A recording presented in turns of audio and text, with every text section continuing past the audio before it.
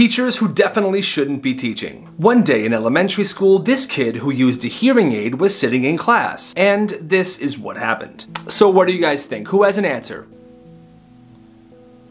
Jackson, how about you? Hmm.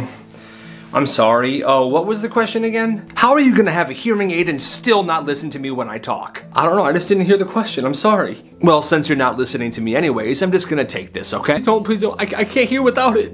You can have this back when you learn to listen. Hey, yo, Jackson, you good, man? Jackson? Kyle, he can't hear you.